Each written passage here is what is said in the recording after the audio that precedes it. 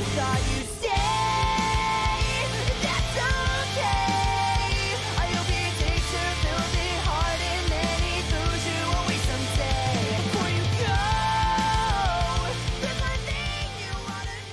I'm Tsuki, and today I'm going to show you my idea of the perfect 2x2. For the footprint, make a 2x2 with this little raised and lowered square foundation like a little pattern thingy-majig, Place a raised triangle to the left of it, and this little sequence of triangles. I'm not saying it that quickly. and finally, put a lowered triangle on the three triangles there. For the TC ring, silver square ring, put a door on, put down your TC, make a shelf, and finally put your door on. Moving on, we are going to be placing two half walls, two walls, floor triangle here, and a floor triangle above it. Put the roof on, the doors, and here will look a little bit like this. With three large boxes on the bottom, two in the middle, two on top, three small boxes, furnace, two more small boxes, Finally another small box and a large box. This completes this 2x1 area. This is just where the main loot resides.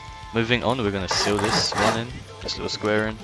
Put a floor on, place a wall here, place a normal wall, a half wall on top, a floor, another floor, and destroy this wall here.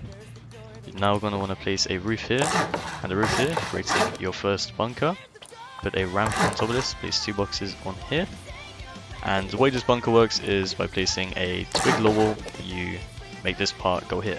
You're gonna preferably get this to armored as soon as possible, and the way to make this wall, is not a wall, a roof, move is just by removing that, and it goes back. Here I want you to place three bags, a furnace, and a tier 3. I lied, there is a small box instead of a furnace. But this is how your core should look. Pretty compact, lots of space, that's very contrasting sentences. But yep, coming through here, we're going to start our first stability bunker by placing a wall here, a wall here, but make this honeycomb first.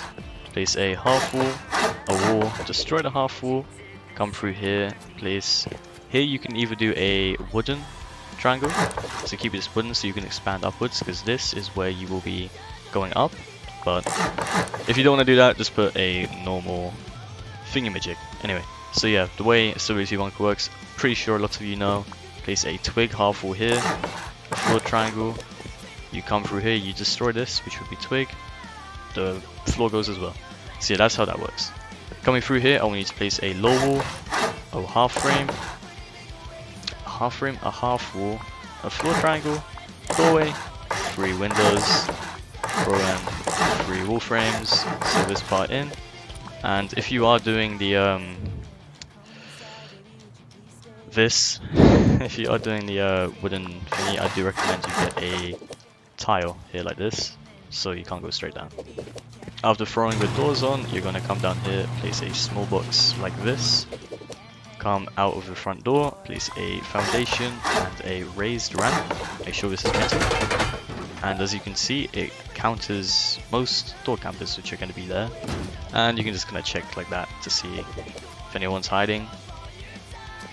Yeah anyway now let's go into the honeycomb. So it's very very simple triangles all the way around this does need to be lowered though and that's basically it just put half walls here which does make it a little bit more expensive but hey you know I think the extra loot space is 100% worth it so yeah, it's only about one more stone of anyway, so still complaining. So you shouldn't complain anyway. Um, yeah, so just base, I do recommend doing this as well. All the way around, make sure to fill these in so you can't splash into it. And here you have it. This is my favorite go-to perfect 2x2. Um, if you like, you know, maybe subscribe. Yeah, be cool. nah, sissy though. Hope you like it. Um, have a good day.